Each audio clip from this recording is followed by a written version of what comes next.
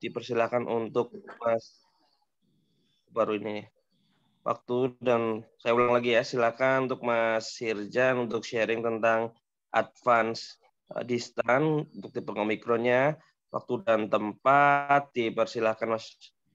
Baik, terima kasih Pak Reza atas kesempatannya. Uh, di sini saya akan sharing sedikit uh, tentang cara pengujian distan menggunakan advance distan. Nah, untuk yang pertama, uh, sebelum kita mulai menguji, kita buka dulu untuk aplikasi yang dari Omicron untuk keseluruhan tes Universe 3.20 ini yang uh, umum kita pakai. Kemudian kita cari di sini untuk distan, kita pilih yang advanced distan.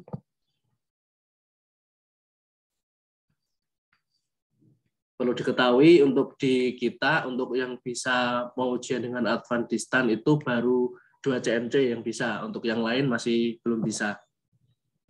Oke, ini adalah template uh, template untuk pengujian distan. Di sini ada beberapa macam untuk bisa uh, dipilih mau menguji apa kita.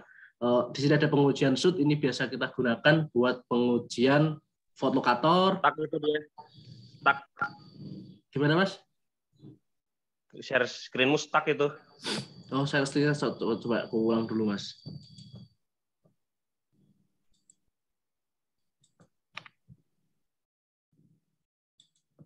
Gimana Mas sudah tertampil belum untuk sekarang? Ah, sip. Ya. Oke. Okay. Saya saya ulang lagi. Uh, di sini ada beberapa pengujian, ada pengujian shoot, pengujian pemeriksaan, pengujian pencarian. Ada tiga ini yang biasa kita gunakan untuk pengujian distan. Namun sebelumnya uh, ini baru berupa template. Kita belum bisa menguji uh, untuk menguji relay yang ada di sisi proteksi kita. Sebelumnya kita harus memasukkan setting dari relay untuk bisa dimasukkan ke dalam template di Adventistan. Uh, ada beberapa macam file yang bisa di, di, di apa namanya dimasukkan ke dalam Omicron. Ada yang berupa jenisnya ada Xrio atau CSV dan lain sebagainya. Uh, kita coba untuk dari awal kita akan download dulu. Kita akan download untuk settingan uh, distan ya, settingan relay kita ambil salah satu contoh di sini semisal dari relay GE. Nah, dari relay GE ini kita bisa ambil untuk settingannya. Kita bisa klik kanan di device-nya, kemudian di export device information. Kita ambil aja yang grup 1.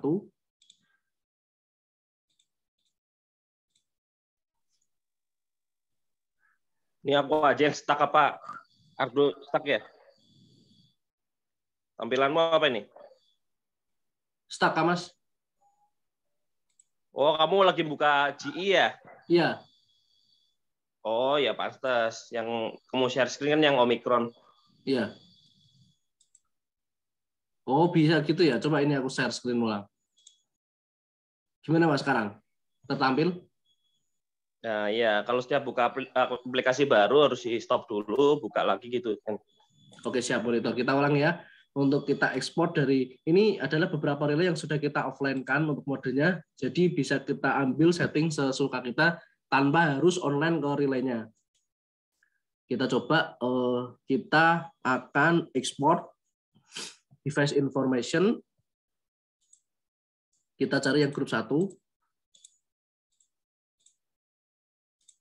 Oke, terus kita cari mau disimpan di mana.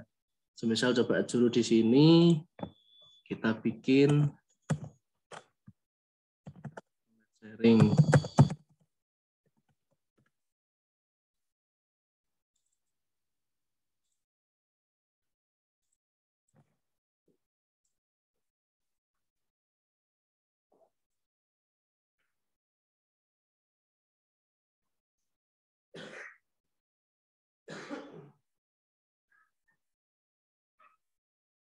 Oke, sepertinya sudah kita cek dulu.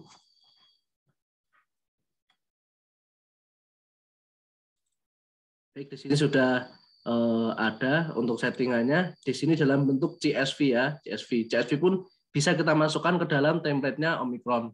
Mas ini kelihatan Mas untuk saya pindah ini Mas. belum dipindah ini, belum dipindah ini. Kamu habis pindah ke Omicron kan? Nah, pindah lagi ke Omicron gitu. Oke. Uh, tadi kita sudah mendownload untuk settingan di Relay GE. Sekarang waktunya kita untuk memasukkan file setting yang sudah kita download lagi ke dalam uh, aplikasi Omicron atau Advantistan ini. Pertama kita klik di berkas, kemudian kita pilih import. Kita cari dulu untuk folder PTL-nya. Jadi ada uh, di Omicron ini ada beberapa folder uh, PTL kita harus sesuaikan dengan relay apa yang mau kita uji. Semisal untuk tadi kita GE, maka kita pilih GE. Untuk set tipenya L90, kita langsung pilih aja.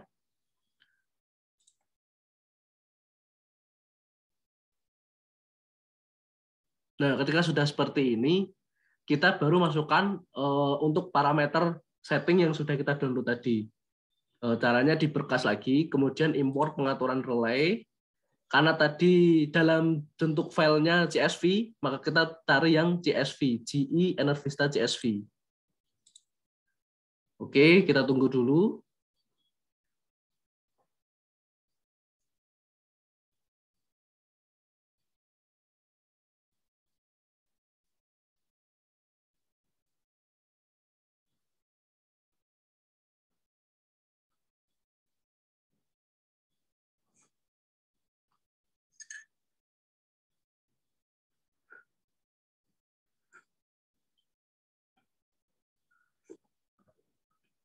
Oke, kita cari di mana kita simpan untuk filenya tadi.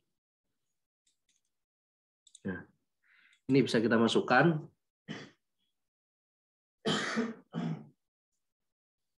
Oke, di sini sudah ada keterangan 162 parameter value have been import dan null warning. Berarti tidak ada masalah dalam kita mengimpor untuk settingan relay dari GE dimasukkan ke dalam aplikasi Omicron. Namun eh, ketika nanti uh, terjadi di sini ada error kah atau ada beberapa warning, uh, kita bisa menghilangkan itu dengan cara kita klik ke berkas lagi, kita ekspor parameter yang ada di dalam parameter yang sudah masuk ke dalam Omicron, kita keluarkan lagi dalam bentuk Xrio. Nah, kita bisa masuk lagi di kita bisa simpan lagi di tempat kita tadi, namun dalam dalam bentuk jenis file yang berbeda. Kalau tadi CSV, sekarang ini Xrio, misal tadi di Bukit Biru.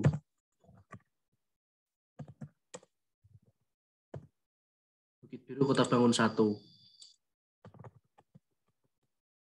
Oke, kita save.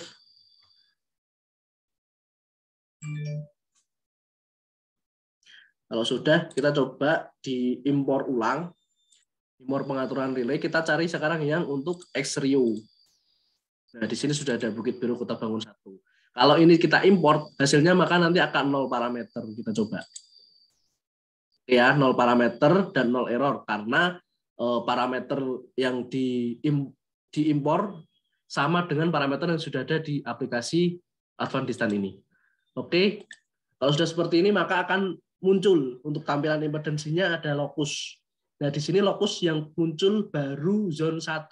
Untuk zone 2, zone 3-nya masih belum muncul. Nah, jadi bagaimana cara menampilkannya?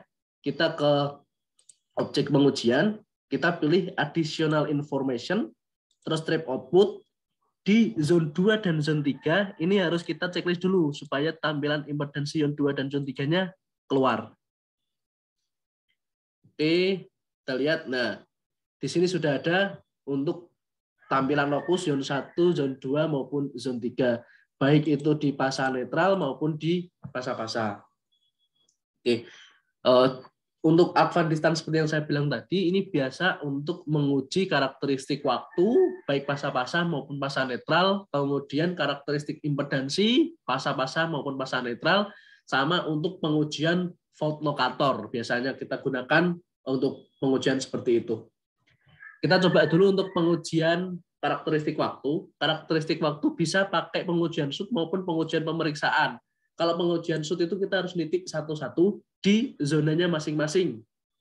Sebagai contoh, kita ingin untuk tampil uh, untuk karakteristik waktunya zone 1, maka kita pilih di zone 1, pasa-pasa atau pasa netral ini yang harus diperhatikan ya. Pasa-pasa atau pasa netral atau mau semuanya juga bisa. Kita coba dulu di pasa-pasa, kita titik ion satu, kita tambah. Nah, kalau seperti ini, di sini sudah ada nih, eh, sebentar, objek pengujian, kemudian ke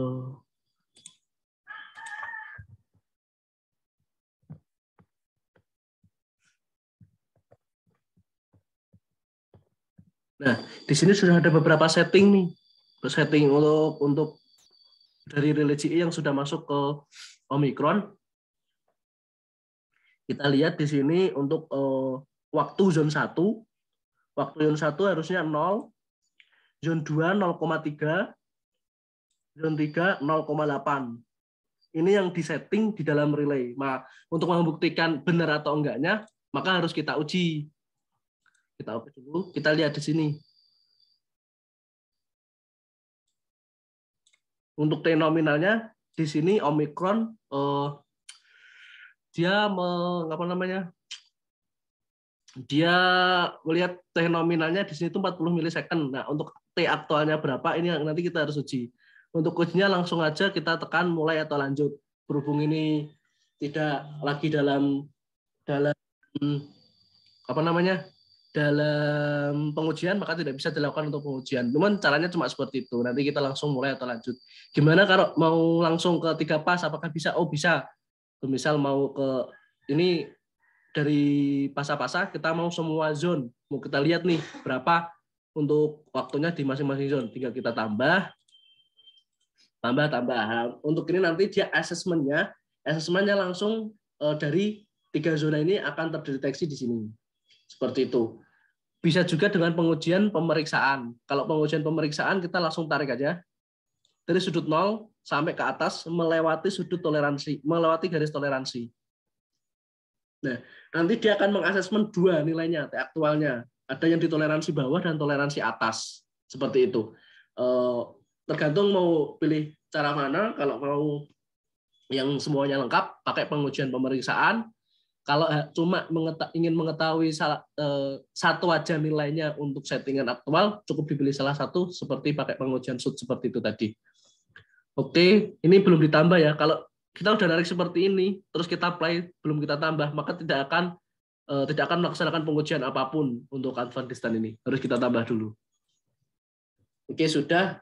Tapi perlu dipastikan juga ketika kita menguji untuk timeline pengujian lain ini harus kosong kalau ada nanti pasti akan double-double pengujiannya. Gitu. Kalau kita mau pakai pengujian pemeriksaan, pengujian sub dan pengujian pencarian dipastikan kosong. Begitu pula sebaiknya sebaliknya. Kita mau pengujian pencarian, untuk pengujian pemeriksaan dan pengujian sub harus dikosongkan terlebih dahulu. Oke, itu untuk karakteristik waktu kita hapus dulu untuk hapus semuanya. Oke, bisa kita hapus satu-satu maupun langsung hapus semuanya bisa terserah. Kalau ini sebenarnya hapus salah satu, kita klik aja langsung kita hapus. Oke, itu untuk pengujian pencarian waktu. Kemudian kita lanjut untuk pengujian karakteristik impedansi di masing-masing zonanya. Oke, kalau pengujian karakteristik impedansi, kita biasanya menguji di sudut pengantar dan sudut resistif. Sudut penghantar biasanya kita tarik di antara 70 sampai 80. Misalnya kita tambah. Nih, di sudut 80 ya. Bisa kita rubah-rubah juga di sini. Semisal kita milih 78 gitu. Kita tambah. Oke, berarti ada dua nih, ada 78 sama 50. Begitu pula mau mau 70 atau 75. Uh, eh, yang ini kita hapus saja dulu yang 78. Nah, biar nggak dua kali dalam uh, biar jadi satu untuk tampilan laporannya, kita biasanya langsung di sudut pengantar sama sudut resistif. Sudut resistif biasa kita tarik langsung dari sini sampai ke kanan pol di sudut lurus saja, sudut resistif. Di sini ada di sudut 0,61 bisa kita tambah. Nah nanti dia akan asesmen untuk pengujiannya di setiap zonanya dia di zone 1, zone 2, zone 3 baik itu sudut pengantar maupun sudut resistif. Di sudut toleransi pun dia pasti nanti akan mencari.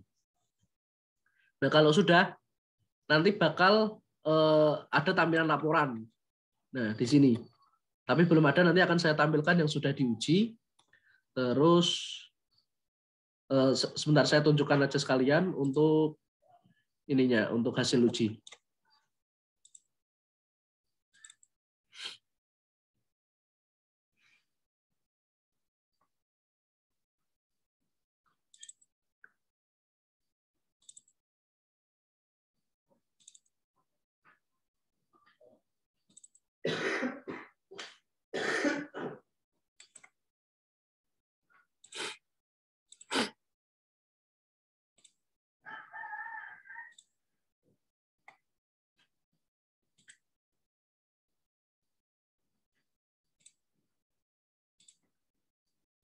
Gimana sudah tampil untuk ininya, untuk tampilan share screen-nya? Oke. Oke, ya. Di sini sudah ada tampilan laporan untuk pengujian karakteristik waktu dan karakteristik impedansi. Seperti yang saya bilang tadi, karakteristik impedansi di kedua sudut ini yang kita tarik dari sudut 0 sampai sudut penghantar eh, di sudut 80 sama di sudut resistif dia akan mengasesmen ini di titik-titik di mana zona dia harus bekerja.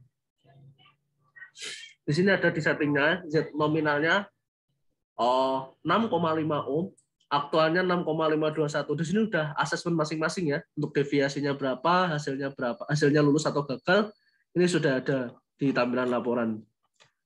Ketika sudah lulus semua seperti ini, maka pengujian untuk impedansi maupun untuk pengujian karakteristik waktu telah selesai. Seperti itu. Terus kemudian kita balik lagi untuk pengujian yang terakhir biasanya kita gunakan untuk pengujian fotokator. Untuk pengujian fotokator di sini pakai pengujian shoot.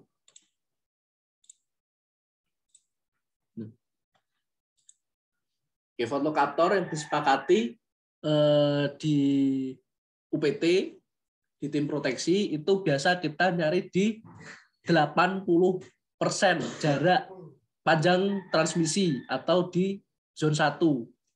Di zone 1 80% kita coba manual dulu di pengujian shoot, semisal ini di pasah-pasah, kita coba masukkan di sini 80% dari panjang saluran. Ada beberapa yang sesuai, ada beberapa yang ngaco untuk masalah eh, ketika kita nitik atau memberikan eh, panjang persen di setiap omikron. Kalau kalau pakai GI kebanyakan nggak sesuai 80 persennya itu dia tidak pas di pas di zone 1, tapi dia di bawahnya. Nah, kalau di Omicron, di Mycom itu ketika di pasar-pasar, dia bisa 80% itu sesuai dengan yang ada di zone 1. Tapi untuk di pasar netralnya, Omicron juga akan ngaco biasanya di bawahnya zone 1. Itu Ketika kita seperti ini tidak bisa, makanya caranya harus manual. Kita titik aja di sudut pengantar. Kita titik langsung. Oke, di sudut 80. Di sudut 80 kita tambah. Sudah. Ini nanti kita langsung inject. Kemudian kita cari di fotokator di relay apakah sesuai. Semisal settingan di di relaynya jaraknya 20 kilo berarti 80 persennya harusnya sekitar 16 begitu. Pasti nanti ada lah beberapa di nggak nggak bakalan pas di 16 ada beberapa toleransi lah. Yang penting nggak jauh-jauh dari 16 untuk eh, besarnya seberapa, toleransinya berapa itu nanti mungkin bisa dijelaskan sama Pak Reza. Oke, seperti itu. Ini untuk pengujian pasar pasar-pasar sama pasar netral kita coba di 80 persen sama aja di sini ya, sama masih di bawahnya, maka kita juga akan titik manual. Kita titik manual, kita tambah, langsung kita uji. Oke, mungkin seperti itu. Terus ya, ada beberapa biasanya yang harus kita lihat. Kalau semisal kita bisa menggunakan sensing dua, pakai mau pakai sensing arus maupun pakai tegangan. Bisa dua-duanya, mau pakai model pengujiannya apa. Nah, biasanya kalau arus pengujian tetap, ini kita harus bolehkan reduksi IUG. Kalau nggak dicentang, itu nanti dia nggak bisa anu ke kebesaran. Kemudian untuk waktu pragangguan supaya pengujian itu cepat, biasanya kita kasih 0,5. Terus yang gangguan maksimal ini harus diperhatikan karena di zone zone 3-nya kita itu 1,2 eh, paling besar, kita kasihlah di atasnya 1,5. Biar di zone 3 juga bisa ke asesmen untuk pengujian medansi maupun karakteristik waktunya. Mungkin itu yang bisa saya sampaikan. Apabila ada tambahan, saran, atau pertanyaan, selagi saya bisa menjawab, saya akan jawab. Silakan. Terima kasih Mas Hirzan. Ini kebetulan ada ada beberapa teman kita nih mungkin ada yang mau ditanyakan karena udah beberapa kali ya apa ya. namanya ya. menggunakan Avandistan kan. Ya, mungkin ada yang ganjel yang ada yang kepingin ditanyakan.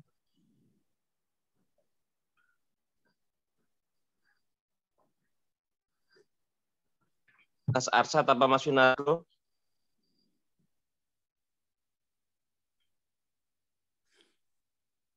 Oke, selagi nunggu nanti dikat aja aku ngomong sedikit. Yang pertama terkait pengujian pencarian. Coba diklik di pengujian pencarian Mas Mas Rizan. Sudah, Mas. Nah, di pengujian pen... Oh, pengujian pencarian ini ada beberapa kemungkinan yang bisa terjadi. Salah satunya adalah uh, tidak uh, fail atau tidak sesuai pada pengujian per zonanya. Hal itu disebabkan karena beberapa hal. Salah satunya adalah mungkin akurasi dari dari distan terkait karena satu dan dua hal. Nah, supaya untuk uh, mengetahui sampai titik mana dia bekerja kita bisa satu yaitu toleransi dibuka mas toleransi mas ujian Mas Irjan? Ya Mas. Ya di dalam situ ada toleransi. Nah toleransi di sini uh, sebenarnya itu adalah sudah diatur dalam SKD itu berapa persennya tetapi bisa mainkan dulu dia mengetahui di titik saja atau bebas dari zona impedansi. Itu kita bisa mainkan dari lima atau berapa persen sesuai dengan nanti nah nanti ketika sudah bisa jadi batas toleran kita atau nanti harus melakukan penggantian atau sebagainya atau ada parameter setting di relaynya yang masih kurang sesuai sehingga kita harus sesuaikan terlebih dahulu. Itu yang pertama, yang kedua untuk waktu toleransi dibuka Mas waktu toleransi. Ini kan untuk zona toleransi yang waktu toleransi.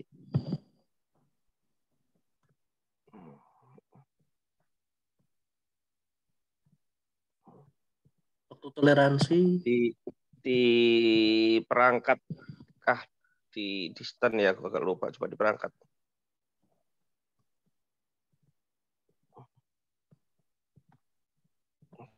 Gak ada ya di ini mas. perangkat.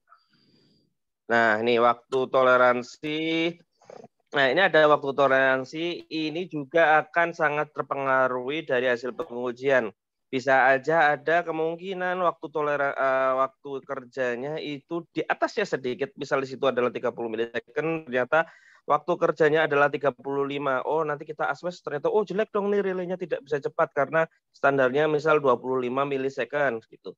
Nah tapi itu adalah bisa dipengaruhi juga dari faktor pengujian. Apa faktor pengujiannya? Yaitu relay biasanya membutuhkan pre-fall terlebih dahulu pada waktu-waktu tertentu supaya relay itu stabil.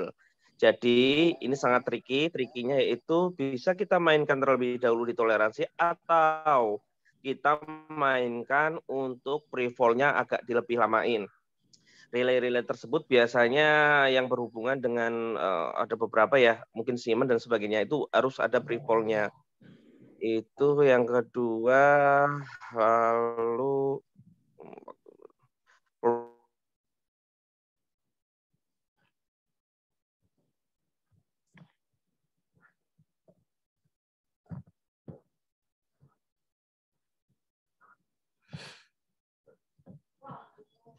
di tampilan awal yang zona-zona.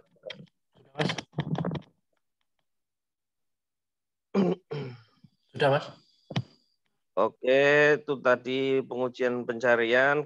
Kemungkinan besar itu ada uh, kesalahan atau error di situ. Selanjutnya, oh, oh ya, tadi menjelaskan tentang yang di pengaturan, di, di pengaturan, uh, aku mau menjelaskan yang tegangan tetap. Nah, di mode pengujian ada dua, yaitu arus tetap dan pengujian uh, tegangan tetap. Coba buka dulu. Nah, pada umumnya kita menggunakan arus tetap pada saat pengujian di mana kita memberi arus tetapnya itu adalah bisa biasanya dua kali dari inominal ya. Itu yang bisa kita terapkan itu dua kali dari inominal. Nah, pada case-case tertentu di mana Z sama dengan V per I, di mana ketika Z-nya semakin kecil, I-nya tetap, maka yang bermain adalah V atau tegangan, dia akan berusaha sekecil mungkin untuk mencapai nilai Z tertentu. Saya ulangi, ketika Z nah V-nya akan menjadi uh, sekecil mungkin dengan uh, arus yang tetap. Nah, itu terkadang relay juga akan tidak apa ya, tidak tidak sensitif lah, anggap, anggapnya tidak sensitif. Nah, terus gimana? Nah, ketika tidak sensitif itu terkadang itu relay tidak bekerja sesuai dengan zonanya sehingga untuk asesmen pencarian itu gagal. Sehingga kita harus menggunakan yang tegangan atau V konstan. Coba Mas, V konstan. Nah, V konstan tersebut kita bisa gunakan sebagai solusi apabila oh jangan-jangan ini kok tidak jelek ya dapatnya ya untuk apa namanya untuk uji karakteristik batas zonanya. Nah, kita coba untuk V konstan terlebih dahulu apakah ada perbedaan atau tidak.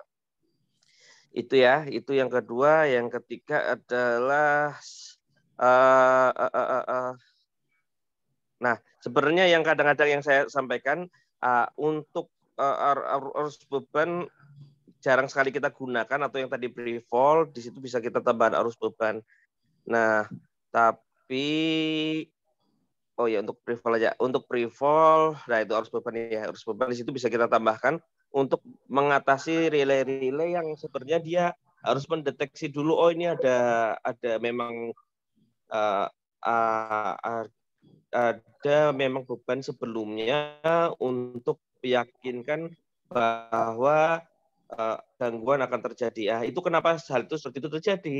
Karena prinsipnya untuk distan itu dia melakukan pengujian sampling atau mengujikan sampling-sampling dari arus yang kita arus dan tegangan yang kita uh, berikan. Nah, samplingnya itu hampir subcycle. Ada beberapa sekarang sudah subcycle, jadi tidak sampai setengah cycle atau setengah gelombang itu sudah bisa menentukan.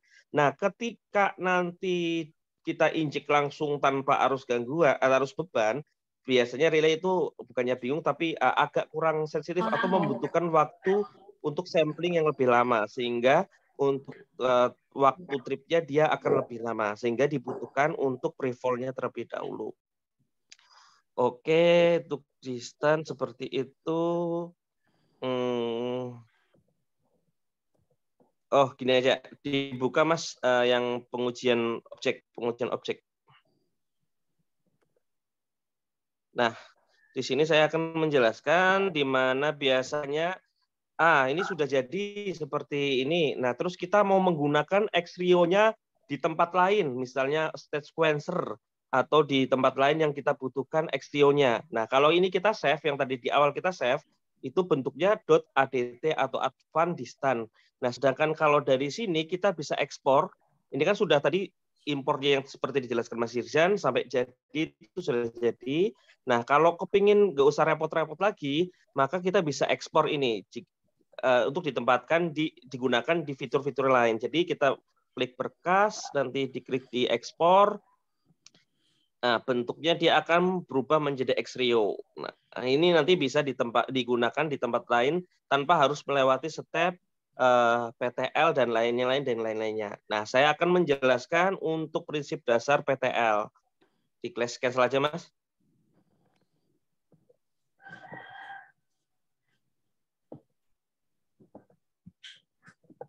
Ini Mas. Uh, Oke, okay. uh, di ya sudah di PTL sekian telepon. Nah, kalau prinsip dasar PTL adalah kita uh, ibaratnya kita mempunyai wadah, kita mempunyai wadah. Nah, wadah itu yang sudah ditetapkan oleh Omikron. Jadi, kalau dari masing-masing relay itu wadahnya berbeda-beda, tetapi isi di dalamnya itu sudah ada. Nah, wadahnya ini adalah PTL itu. Jadi kalau prinsip awalnya kalau teman-teman nanti memproduksi eh, Xrio dari Xrio dari relay itu tidak bisa langsung dimasukkan karena wadahnya berbeda. Nah, kita harus ekspor dulu impor dulu untuk PTL-nya seperti yang tadi kan Mas Rian. Lalu nanti baru Mas impor data uh, impor peralatan yang tadi yang seperti Impor apa tadi? Ini mas, impor pengaturan relay. Oke. Nah, impor peng ah di sini. Nah, impor pengaturan relay di sini. Nah, ini saya akan menjelaskan beberapa jenis-jenis yang bisa diimpor. Yang pertama adalah paling atas ya. Nah, paling atas itu dia Areva tipe lama. Yang kedua itu adalah GE tapi GE untuk yang polanya CSV.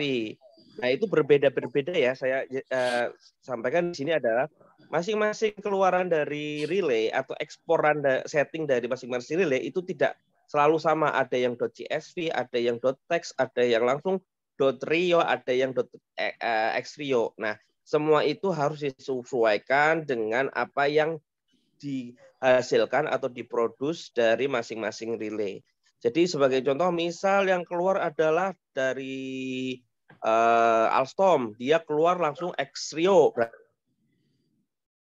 standar Xrio file. Oke, sudah batalkan.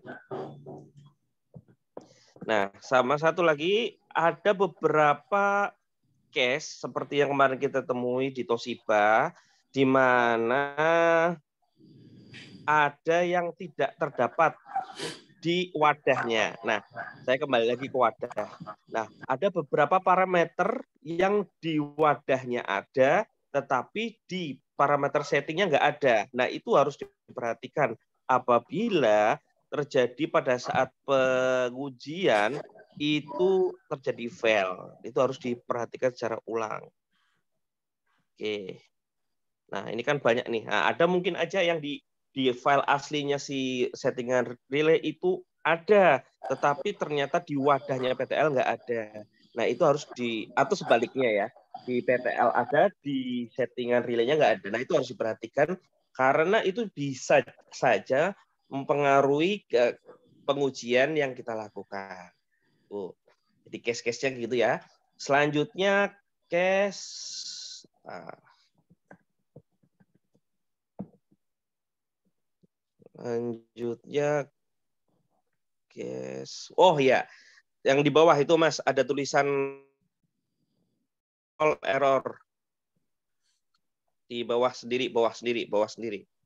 Bawah lagi, bawah lagi, bawah lagi pol, tasbar, tasbar, tasbar. Nah, tadi tadi Mas Hirzan menyampaikan 100 berapa berapa berapa uh, 100 sekian sekian sekian dia itu uh, terimpor dan ada warning atau ada jadi perhatian adalah ketika mengimpor itu harusnya itu semua terimpor dengan normal. Tetapi terkadang ada warning. Nah warning itu adalah mengindikasikan bahwa antara yang di uh, setting dari relay terkait mungkin tidak cocok atau tidak ada tempatnya di Pak di PTL yang ada atau sebaliknya itu warning. Nah, yang kedua itu tidak masalah. Itu pada saat muncul warning kita tetap dapat melakukan pengujian. Nah, yang resiko adalah ketika muncul error. Nah, ketika muncul error, error satu aja, itu tidak bisa kita melakukan pengujian. Jadi harus kita tracing, nanti di situ muncul kode errornya berapa, kita baru masukkan atau sesuaikan baru nanti kita bisa melakukan pengujian seperti pada umumnya. Atau tricky. Nah, ini satu lagi tricky. Misal muncul error, kita nggak nemu di mana nggak nemu di mana nggak nemu. Ah, itu bisa dilakukan dengan ya sudah kita sudah jadi file seperti ini, sudah impor, lalu kita ekspor ke Xrio seperti yang tadi saya jelaskan. Setelah nanti diimpor di Xrio, itu kita impor lagi ke dalam sini. Nah, impornya tidak usah melalui PTL, tetapi langsung saja berkas Mas Irzan, berkas langsung di Xrio langsung. Diimpor Xrio di berkas muncul langsung diimpor Xrio tidak tidak usah eh, bukan bukan di situ bukan di situ di yang di awal. Lain lain lain lain. Di yang impor biasa bukan impor. Nah di biasa nah bisa itu langsung di impor yang tadi saya itu triknya seperti itu. Ada error oh error udah ekspor habis error ekspor nanti impor lagi tanpa melalui PTL masih kayak gini nggak putus-putus mas oh ya sudah itu ya ini jelas kan suaranya ya mas Irza jelas mas jelas oke Oke, sudah. Selanjutnya itu ya. Oke. Nah, itu saja. Nah, prinsip-prinsip seperti ini, impor template, impor uh, impor data setting itu semuanya di, di, digunakan tidak hanya di advanced tetapi juga digunakan di overcurrent feature, advanced overcurrent dan lain-lain dan terus menjadi perhatian buat kita. Yang pertama adalah oh, objek pengujian. Yang kedua kita harus memasukkan dulu template PTL. Selanjutnya itu kita masukkan dulu import data setting. Itu yang menjadi perhatian. Selanjutnya saya akan sedikit menjelaskan di situ ada konfigurasi peralatan. Coba Mas, konfigurasi peralatan.